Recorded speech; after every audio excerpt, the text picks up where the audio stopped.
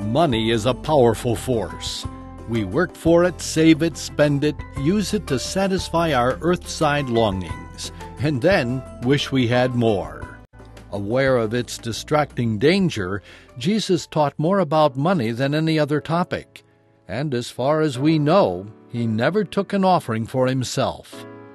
Clearly, he didn't teach about giving to fill his own pockets. Instead, Jesus warned us that trusting in wealth and using it to gain power clogs our spiritual arteries more readily than most other impediments to spiritual development. In telling the story of the rich fool, he shamed his listeners for not being rich toward God, indicating that God has a far different definition of wealth than most of us. So, what does it mean to be rich toward God? Paul tells us in 1 Timothy chapter 6 verse 17 that those who are rich should not be conceited about their wealth, nor to trust in uncertain riches. Rather, we're to be rich in good works, ready to give, willing to share. Interesting.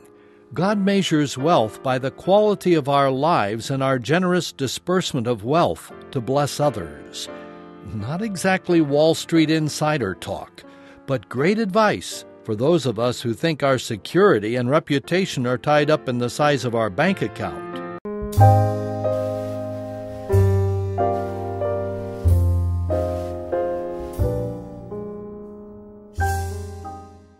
Riches are a blessing only to those who make them a blessing to others.